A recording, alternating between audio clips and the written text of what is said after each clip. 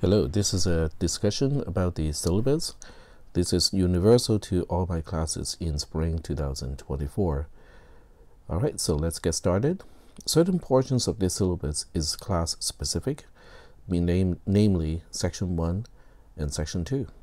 So that means I'm going to start with section 3. Now, it doesn't mean that you don't have to read section 1 or 2.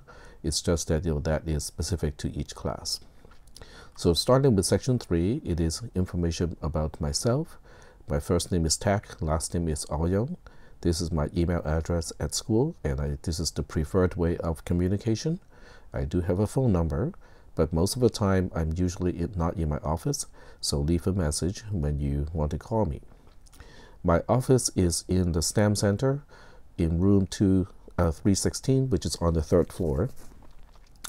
My office hours for this particular semester are from uh, on Mondays and Wednesdays. It is in my office from 11 o'clock to noon. On Tuesdays and Thursdays, it is also in my office from 4.30 to 5.30. And then on Fridays, it is in my office from 8 to 9 a.m. If you cannot make it to any of any one of these times, you can always you know schedule a meeting with me you know through email. There are several important dates that you should pay attention to, and I advise you to go to the academic calendar for those important dates. Those important dates include, but not limited to, are you know they include but are not limited to the last day to drop with a refund, the last day to add with a permission number, and also the last day to withdraw with a W notation. So I suggest that you keep track of these dates if you think they are important to you. Also, because this is a face-to-face -face class or in-person class, I'm just going to use the final exam schedule for the college. so that will determine what day and also what time we are going to have the final exam. This applies to both CISP 310 as well as CISP 440 because both are in-person classes. Section 6 talks about presentation and delivery methods. Um, for the most part, you know, the reading material is from the Canvas link. Um, you know, there are links from the Canvas shell that will lead you to the reading uh, material. So just go, you know, with that. And I usually just kind of go over the material in sequential order, which means you can always read ahead of time before the lecture. The lectures in this semester is uh, in person, face to face only. Um, I may record lectures. I tend to record lectures unless I forget. Um, attendance is still 100% required. In other words, you know, the recording is more of a resource for people to review the material, but not to skip the lecture. So I do take roll in class. More on that a little bit later. If you think the recording is useful, please help remind me uh, to start the recording because you know there are occasionally I would occasionally I would forget to click the start button and then nothing gets recorded. Um, synchronous online mode that does not apply. Asynchronous online mode also does not apply because I'm not teaching online classes or even hybrid classes. There will be some interactive activities, especially for CISP 310, because for that particular class, there is a lab section. So more on that a little bit later as well. Section 7 talks about regular effective contact and communication policy. Um, to stay in touch with me, you can utilize office hours, you can email me, you can use the built-in messaging capability of Canvas, and also you can also check the Canvas course announcements, which typically should be sent to you by email anyway. Um, but if you are not sure or if you really just want to double check everything, you can always go to the course announcements. The expectation of time frame is um, about a day, you know, no more than 24 hours um, on a business day. So when you submit something and it is at least 24 hours you know before the last business day of a week then you can expect a reply back within 24 hours. And all other time period is going to be about 48 hours of a turnaround time. For an in-person class, you know, um, to initiate communication with me, um, I strongly suggest people to come to my office hours, and this is the reason why the office hours are scheduled either right before or right after my lecture and or labs. Um, you can also you know, schedule additional meeting times with me. Um, I'm usually quite flexible, you know, unless I have other meetings and other obligations. You know, I'm usually open to meeting with uh, my students, you know, at you know any time. well, anytime within reason. Uh, number eight, section eight talks about accommodations. Individuals who can benefit from accommodations can do the following. If you have already contacted the DSPS, which is the Disability Services and Programs for Students, um, you need to let me know about the accommodation requirements as early as possible.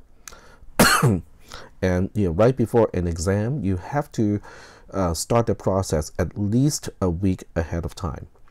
Um, so you know when you think you know it's about time, you know when I announce you know it's about time for um, an exam, you know, you need to get on to, you need to go to the DSPS and, you know, um, arrange for your accommodation accordingly. Um, and then section 9 talks about general conduct in the class. So this is a document that really explains you know, the college, uh, the expectation of behavior and conduct from the perspective of the college. Uh, there's also another guide here. So both of these documents are intended for students to read so that you know what the, the uh, college expects of all students, not just you, but all students. So if you see someone, you know, who's doing something that is mm, questionable, um, you can always refer to these documents and find out, you know, whether you know, what to do with those behaviors of other people, not yourself. Uh, the instructor's policy is to be uh, consistent with the expectations from the Office of Student Conduct. Uh, the Office of Student Conduct is going to be reorganized this semester, so I will update all of you uh, about the update. The instructor, being me, will report all cases of violations. The minimum consequence of a violation is a score of zero assigned to the assignment that is in violation and that is usually only applicable in the case of dishonest uh, academic dishonesty. In the case of the violations that are not of the nature of ac academic dishonesty, the instructor can choose to remove the involved people from one or more class meetings. Uh, if you read um, these two documents, um, they clearly state that you know the instructor, being me, you know, can ask people you know not to come to class for one or two you know, sessions. and then the Office of Student Conduct may incur additional consequences. So most of the problem with conduct has to do with academic dishonesty. So we're going to take a closer look at what it is and how I you know, looked at those things. Section 9.1 talks about academic honesty slash integrity, which is from a positive perspective looking at these things. The basis of academic integrity, integrity policy is that the grade of an individual, let's say that person is X, should reflect the academic performance of that person and that person alone. Furthermore, the performance assessment should also be conducted in a way that is consistent with the peers of X, which means every student should have you know, the assessment conducted in a you know, in the same way. Academic integrity also includes truthfulness in all class-related activities, such as roll-taking. For example, signing a roll sheet for someone else is a violation of academic integrity. Affirming presence when a student is absent in an in-person class is also considered a violation of these new policies. Most assessments include rules that are applied consistently to all applicants. For example, an assessment such as, a, such as an exam may allow the use of any handwritten or printed content on paper, but not electronic devices. Another assessment consistency is the start and the end time of an assessment. Other rules examples include the start time, end time, and answer collection method of an assessment. So whether you write the answer on paper, you know, on the question paper itself, additional pieces of paper, so those all fall into you know those uh, restrictions um, that are specific to each assessment activity.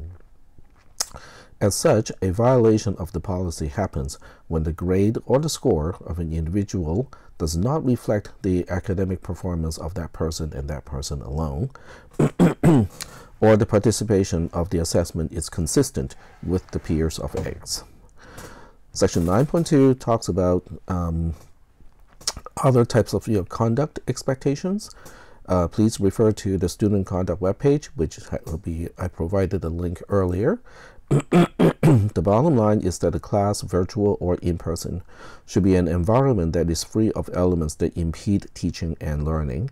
In this context, the elements refer to human behaviors, and this is a list of these behaviors, and I'm going to talk about each one you know, in these subsections.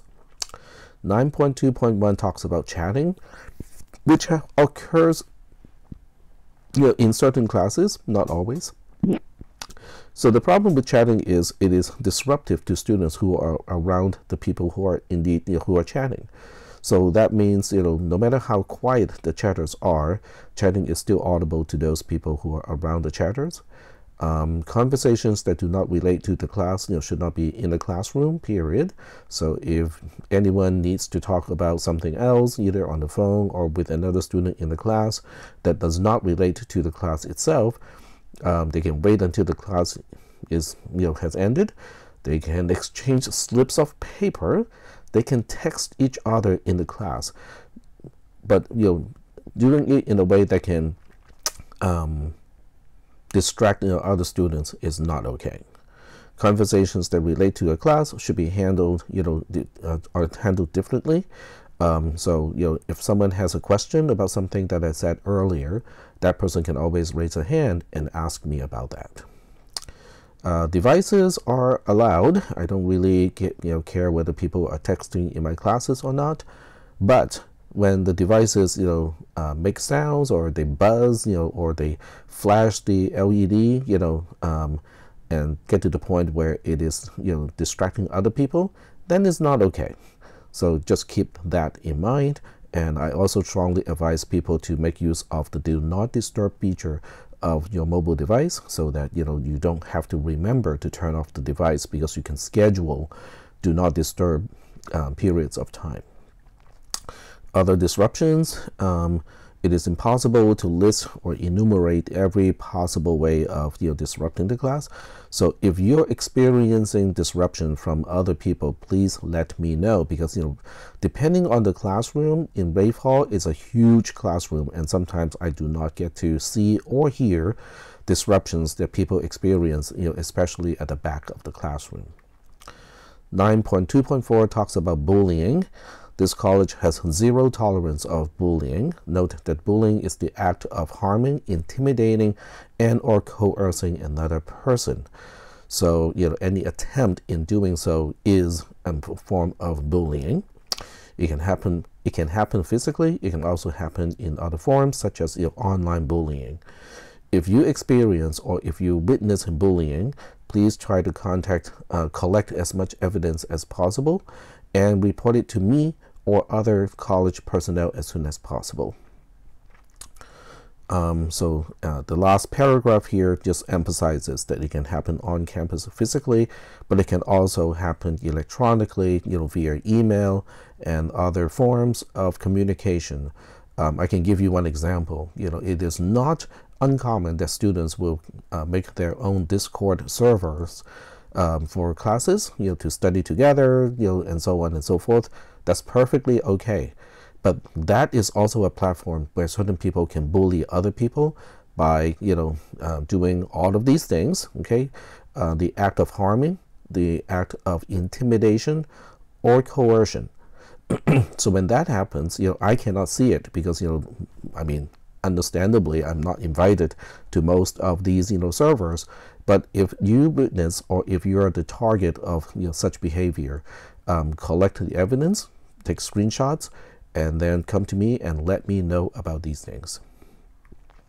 So related to bullying is uh, threatening.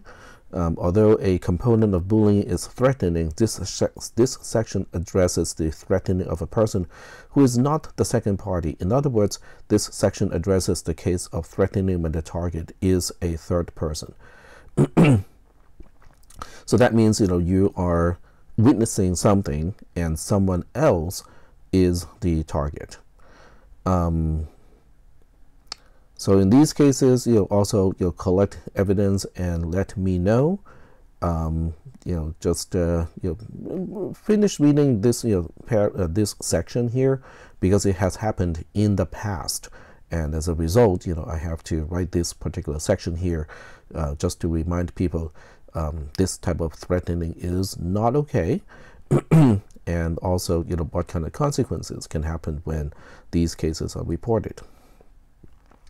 Section 10 talks about attendance and absences, which are pretty easy to understand for in-person classes. You know, there should be no ambiguation whatsoever, you know, what is, um, you know, an absence, what an absence is, I should say.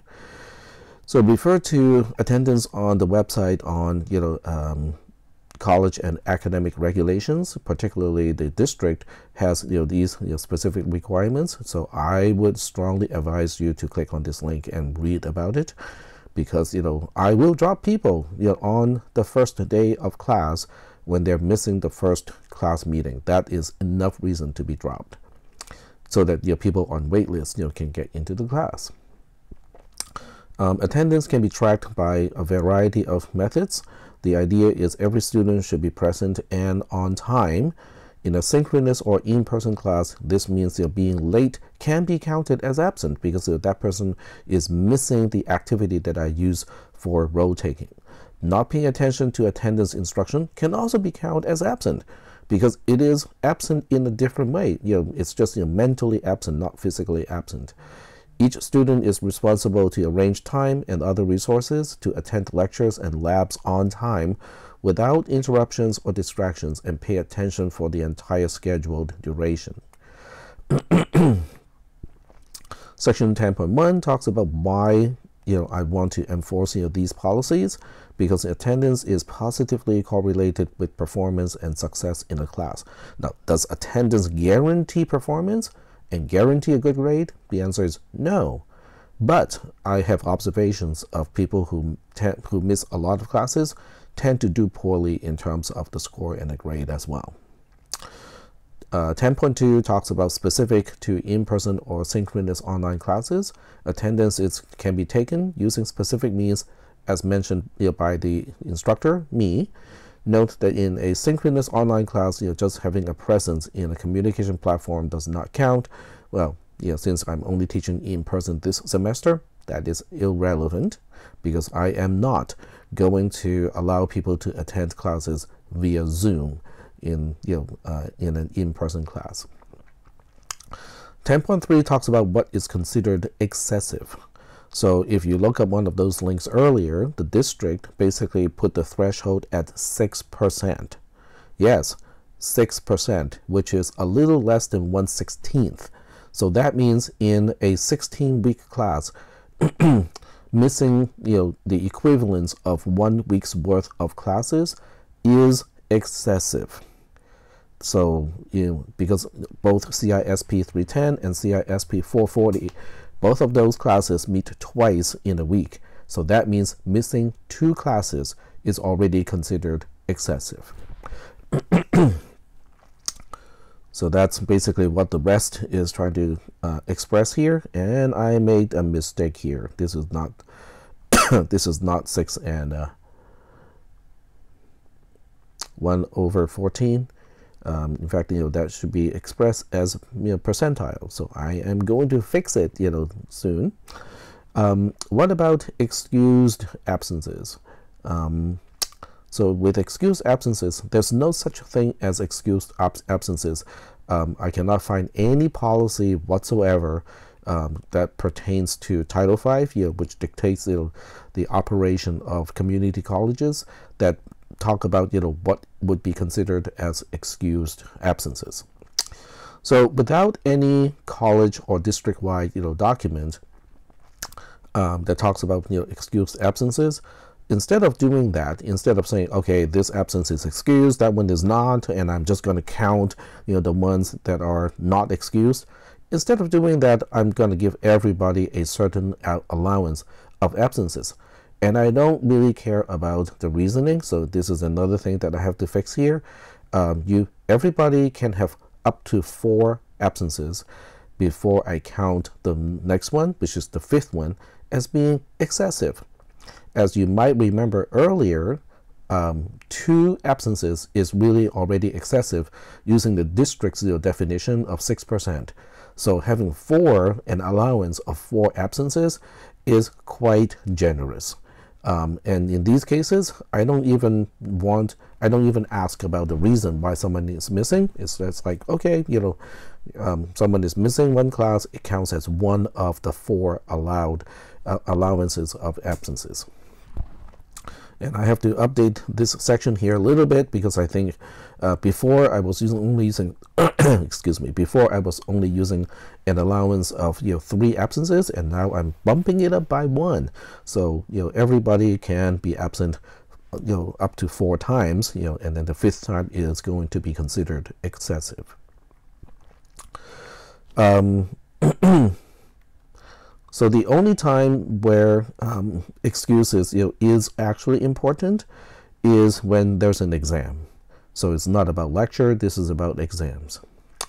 Um, the instructor expects each student to plan ahead and make sure that he or she does not miss an exam or arrive late.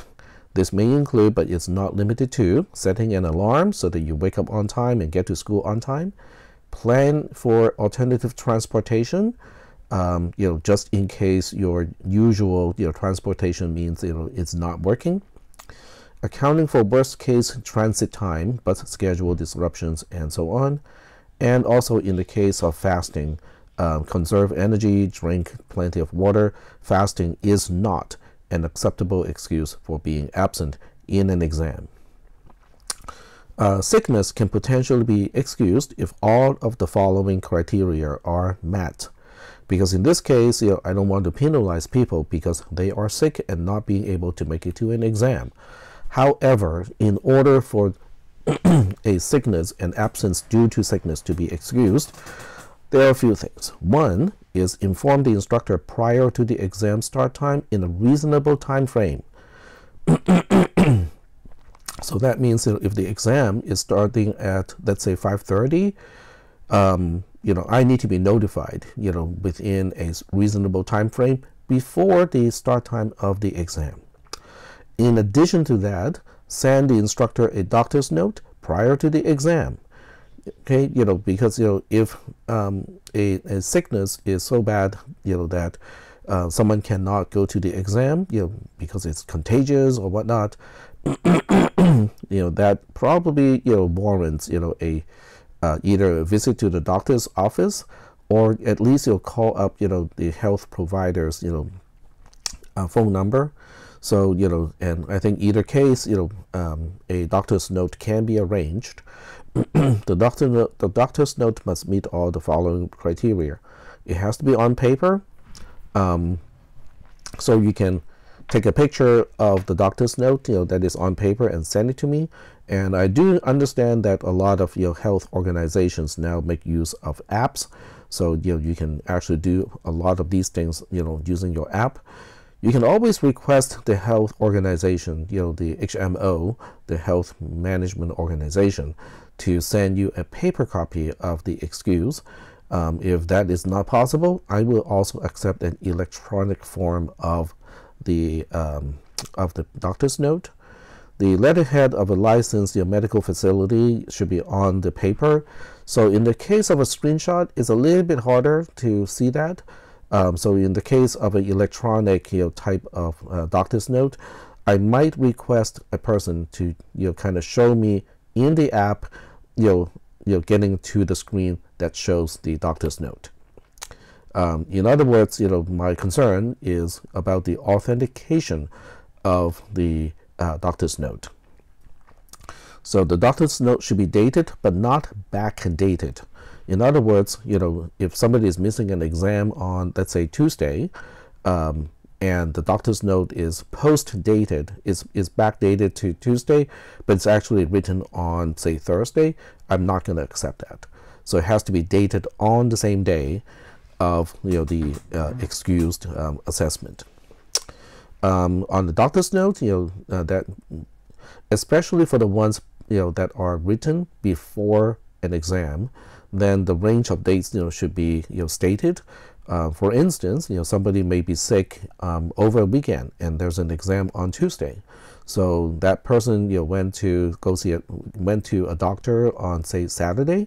The doctor you know, looked at the symptoms and go like, hmm, you know, I don't think it's a good idea. I think you should you know basically rest for a whole week.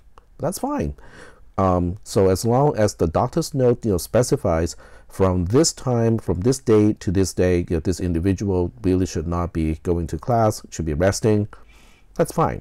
So I just need to look at you know that range of dates you know to be excused. At the discretion of the instructor, the instructor may exempt time-sensitive uh, criteria if the if the onset of the sickness is has an ac acute nature, such as you know, acute you know, appendicitis. Um, the doctor must note that the medical condition has an acute nature. So in these cases, you know, backdating is okay because you know you know, there's no way, you know, to predict, you know, when somebody is going to have an acute uh, form of, you know, sickness. But, you know, it has to be uh, qualified by the doctor's, you know, in the doctor's note. In the event that the instructor excuses a student from taking an, taking an exam on the scheduled day, the instructor may choose to administer an exam that is different from the, from the one administered on the scheduled day. So this is, you know, kind of, you know, a way to make sure that um, when people take an exam, not on the scheduled, you know, day, um, it will still be a fair assessment, you know, compared to the rest of the class. All right, section 11 talks about grading, what is being assessed. Um, an assessment can be a lab activity, a homework assignment, a Canvas activity, a quiz, or an exam. For each individual part defined by the assessment, there are some dimensions of assessment. In other words, you know, what, am I what am I testing for? Section 11.1.1 basically says your prior knowledge and the ability to recall is not being tested because all the exams are open book and open notes. So why would I be testing whether someone can remember something when it is already open book and open notes. It doesn't make sense. Section 1. Point, section 11.1.2 talks about analysis and critical thinking. Uh, so this is something that I will be testing for. And you know, critical thinking and analysis mostly when it's applied to exams is being able to read the exam question and be able to relate that to definitions and concepts that we have talked about in class. Um, I will also test you know, for program uh, problem solving and synthesis you know, ability, and this one quantifies the ability to utilize know, definitions, concepts, symbols, procedures, processes that are introduced in the class to actually you know, finish you know, doing something uh, to basically solve a problem in this case. Section 11.1.4 talks about performance, which basically translates to how quickly can something be done. Um, so, you know, the uh, exams, you know, have uh, specific, you know, time limits. So that means, you know, even if somebody, you know, can solve all the problems, given enough time, um, I am only going to score and assign a grade based on what is turned in within the uh, allowed time of the assessment. So, you know, so that means, you know, familiarity and efficiency, they're both important in an assessment. um, each assessment, you know, each piece of each assessment, you know, is graded from zero to four, which is the GPA scale. And, you know, basically, you know, zero out of four is an F, 1 out of 4 is a D, 2 out of 4 is a C, 3 out of 4 is a B, 4 out of 4 is an A. And this particular section is really just, you know, talking about, you know, what does it mean for each particular um, number, for each particular grade. I'm just gonna, I'll just pick one that you know, most people are interested in. Let's say 2 out of 4. What does that mean?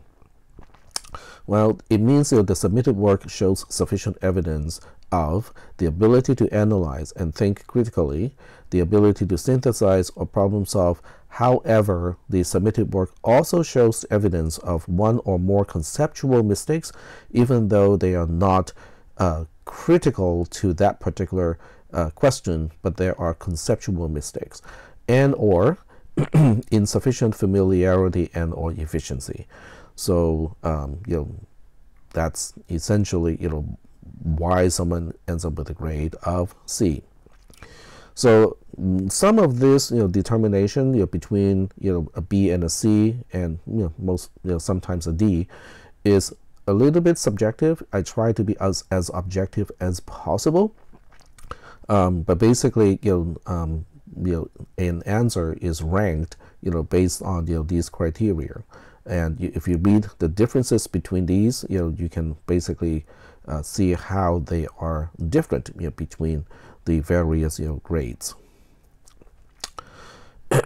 the translation between a uh, numerical score and the letter grade at the end of the semester is pretty easy.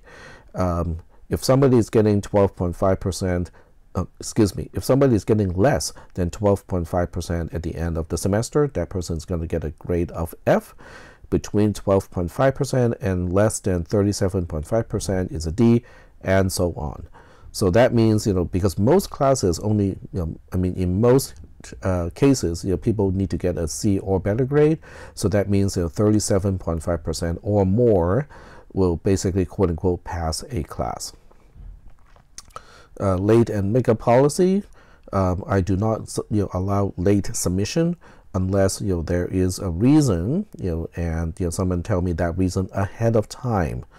Um, it is up to my discretion to decide you know, whether I would accept late submission when there's a reason and you know that reason is you know, you know and I know about the reason ahead of time.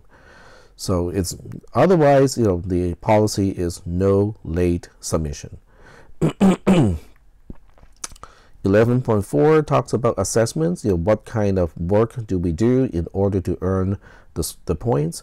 20% uh, would go to homework assignments and lab activities. So every all the lab and all the homework assignments add up to 20% of the final score.